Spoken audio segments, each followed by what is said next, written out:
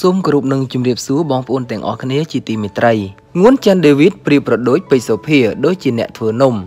ម្ចាស់បទរំញីកែងជើងងួនច័ន្ទដេវីតហៅជីដេវីតបានឲ្យដឹងថាខ្លួននិងពេជ្រសូភាធ្លាប់ចាប់ដៃគូគ្នាកន្លងមកគឺជាការជួយគ្នាទៅវិញទៅមកគ្មានអ្នកណាជួយអ្នកណាឡើយដេវីតបញ្ជាក់ថាកាលនោះសូភាប្រៀបដូចជាអ្នកធ្វើនំអញ្ចឹង ហើយខ្ញុំជាអ្នករកទីផ្សារខ្ញុំគិតថាពេលយើងចាប់ដៃគូនោះចំណេញទាំងសងខាងដូចគ្នាគ្មានអ្នកណាជួយអ្នកណាទេការថ្លែងរបស់អតីតតារាហងមាសនៅពេលនេះក្រោយពីអ្នកជំនាញសិល្បៈបានលើកឡើងថាងួនចាន់ដេវីតនិងពេជ្រសូភាចាប់ដៃគូជាមួយគ្នាកាលពីឆ្នាំ2016នោះពួកគេស័ក្តិសមជាមួយគ្នាបំផុតពេលច្រៀងសម្ដែងរួមគ្នា ហើយទាំងពីរដេវីតនិងសូភា ក៏ជោគជ័យខ្លាំងផងដែរអំឡុងពេលដែលពួកគេនៅត្រូវរើគ្នា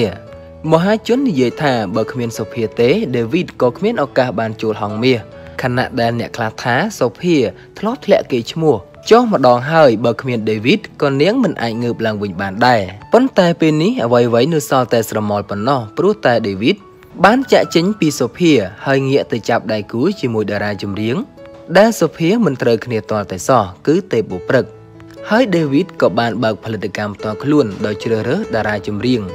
ឲ្យចូលផលិតកម្មខ្លួនជាបន្តបន្ទាប់ផងដែរងួនចាន់ដេវីតបន្ថែមថា តាំងពីខ្ញុំចេញពីហងមាសមក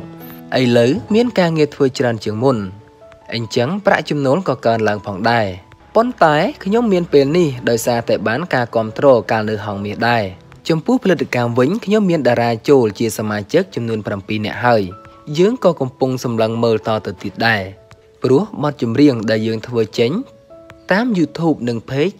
គឺមានគ្រប់រសជាតិទាំងអស់ងួនចាន់ដេវីតថាចំពោះពិធីបុណ្យអុំទូកខាងមុខនេះលោកច្រៀងនៅភ្នំពេញមួយថ្ងៃនិងនៅខេត្តសៀមរាបពីរថ្ងៃផងដែរជាមួយនឹងដៃគូកំពូលស្នេហ៍ទេពបុព្រឹកចំពោះរឿងថាតើនាពេលខាងមុខដេវីតនៅធ្វើជាថាកែផលិតកម្មផ្ទាល់ខ្លួនរហូត ឬចូលច្រៀងឲ្យផលិតកម្មណាមួយនោះ